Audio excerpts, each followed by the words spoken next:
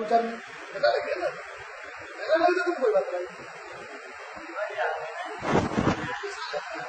बिल्कुल बहुत है किसान की समझ लो किसान की मट्टी बहुत ज़्यादा खराब है तो खसरा लगाओ तो रोटी है तुम्हारी गाय का रोटी है? गाय की रोटी है खसरा? अच्छा रसीद दो खसरा की? रसीद दो तुम खसरा की। तीन सौ दो। खसरा की रसीद दो पचास रुपया खसरा की रसीद। तो देखो रसीद में देखो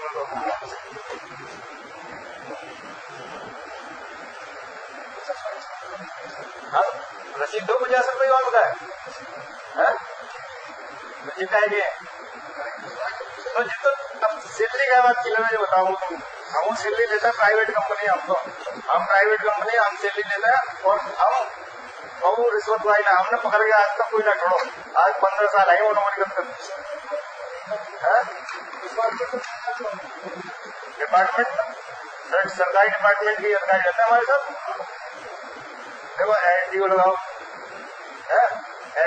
आप लोगों से मेरे संज्ञान में आया है, कार्रवाई हो तो उसको निलंबित करने का